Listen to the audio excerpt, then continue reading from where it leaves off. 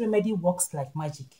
If you notice that in your father's house, you have an evil person, somebody you know that this person is evil, and this person has been troubling your family, is like a terror to your family, to your to your life. You notice that that this person is evil. See what you're going to do. For the land to fight your battle, get me a raw oil and a salt. When you come to your father's house, stand in the middle of your compound.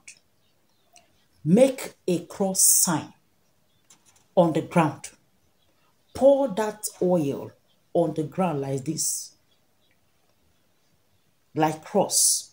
Then use the salt and cross it also and begin to speak.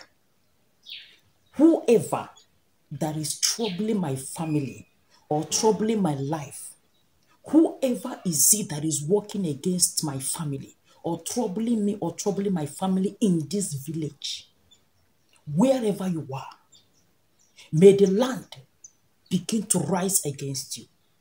May your evil plans go back to you. You know what you're passing through. You know what you have been battling with. You know the the the the, the heights of the suffering. You understand? Pour your hearts and speak to the land. Once you are done praying, you will see how God is going to fight your battle. The land will begin to work against that person that is fighting you. Do this remedy with all your heart, with everything in you. You're going to see an outstanding result.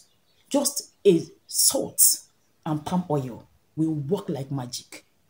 If you love this video and you love what I share, help me to like, save your favorite, and God will keep lifting you.